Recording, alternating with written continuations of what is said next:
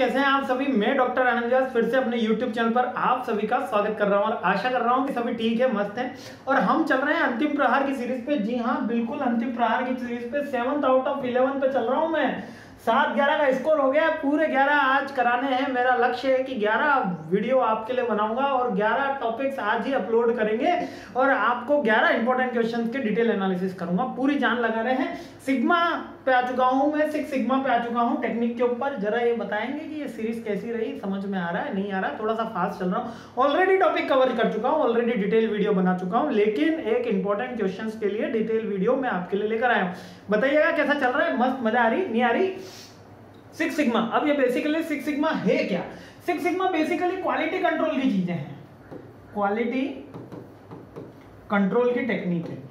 इसके अंदर बोला जाता है कि हम एरर से जज करते हैं कि हमको कितना क्वालिटी इंप्रूवमेंट हो रहा है, यानी कि कोई भी मिनिमाइजेशन ऑफ़ द वेस्टेज इसमें क्वालिटी का मतलब है मिनिमाइजेशन ऑफ़ द वेस्टेज आपकी वेस्टेज जितनी कम निकलेगी तो क्वालिटी विल इंप्रूव या production enhancement with the minimization of the wastage यानी प्रोडक्टिविटी बेसिकली अगर ये मैं बात करता हूँ, लिखा तो क्वालिटी कंट्रोल में जाता है।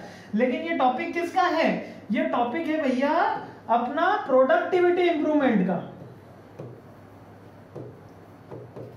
याद रखना।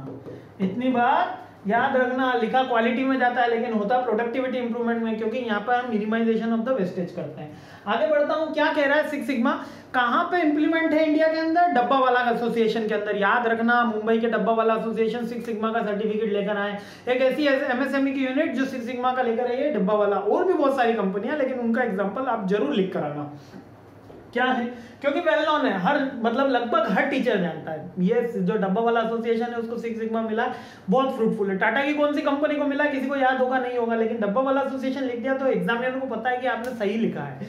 ठीक है, क्या कहना चाह रहा है? ये ये कह रहे हैं six sigma is the method provide organizing tools to improve the capability of their business processes this increase the performance and decrease the process of the variation help to the help to lead to defeat the deduction improvement of the profit and the employee morale and the quality of the product and services यानी कि continuous improve करना है minimization of the cost waste करना है और जो process है उसको smooth बनाना है fast बनाना है क्या इसके अंदर सिक्स सिग्मा का स्टैंडर्ड क्या है जरा ध्यान दीजिएगा सिक्स सिग्मा का standard performance produce the defect free defect नहीं होना चाहिए प्रोडक्ट के अंदर कितनी 99.99966 परसेंट यानी कि कितना साढ़े तीन एरर हो सकती है केवल पर वन मिलियन, यानी दस लाख के अंदर। अगर आप दस लाख यूनिट प्रोड्यूस करते हैं हाँ 10 लाख यूनिट प्रोड्यूस करते हैं तो कितनी एरर हो सकती है? केवल 3.4 एरर हो सकती है। यानी एक्यूरेसी 99 परसेंट यानी कि डब्बा वाला एसोसिएशन यदि 10 लाख डब्बे डिलीवर करता है तो केवल और केवल तीन डब्बे ऐसे हो सकते हैं, जो वो गलत डिलीवर करे। ये उसकी कैटेगरी है नैरो स्पाइंड वैसे उतना भी वो नहीं करते, वो 100 परसेंट एक्यूरेसी के साथ अचीव करते हैं, यानी कि सोचिए उनका क्वालिटी कंट्रोल कितना है। यानी आप ऐसा सोचिए कि एक मैकडी का बर्गर वाला अगर बर्गर बनाता है, दस लाख बर्गर बनाता है तो एक के भी टेस्ट में चेंज नहीं आना चाहिए, एक के भी क्वालिटी में चेंज नहीं आना चाहिए। ईच ब्रेड जो उसकी बैकिंग है, जो क्वालिटी है, जो सॉफ्टनेस है इक्वल होनी चाहिए। ऐसा कितना मुश्किल हो ये काम करना, लेकिन ये मुंबई के डब्बा वाला एसोसिएशन ने करके दिखाया। और इसकी एक साइकिल भी है। ये ऑलरेडी मैंने एग्ज़ाम एक्सप्लेन नहीं करी थी अपने डिटेल वीडियो के अंदर, लेकिन यहाँ देख लीजिए आप। ठीक है? ये साइकिल क्या कह रही है? सबसे पहले हमको डिफाइन करना है, फिर मेजर एनालिसिस इंप्रूव कंट्रोल क्या करना है? अगर कोई प्रॉब्लम आती है हमारे अंदर तो उसको हमको डिफाइन कर देना है कि ये हमारी प्रोसेस रहेगी, इसको हम डिफाइन कर रहे हैं। देन उसको मेजर कर रहे हैं उस प्रॉब्लम को।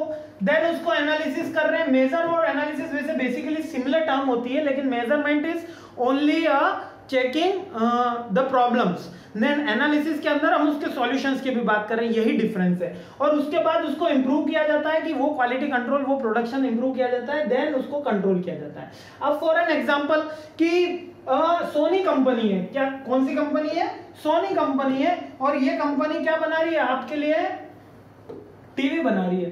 सोनी कंपनी क्या बना रही है? टीवी बना रही है। अब ये टीवी बना रही है तो उसको अब देखिए कौन कौन सी प्रॉब्लम हो सकती है, उसकी कंपनी की प्रॉब्लम्स में वो टीवी जो एलईडी अब तो एलईडी की बात करते हैं एलईडी जो बना रही है, उसमें कहीं पे कोई डिफिट हो सकता है, कहीं पे उसका लैग आ सकता है, कहीं पे उसके रेस्पॉन्सनेस में दिक्कत आ सकती है स्मार्ट टीवी में। तो सबसे पहले वो डिफाइन करेंगे कि कौन सी प्रॉब्लम उनको फेस करनी हो रही।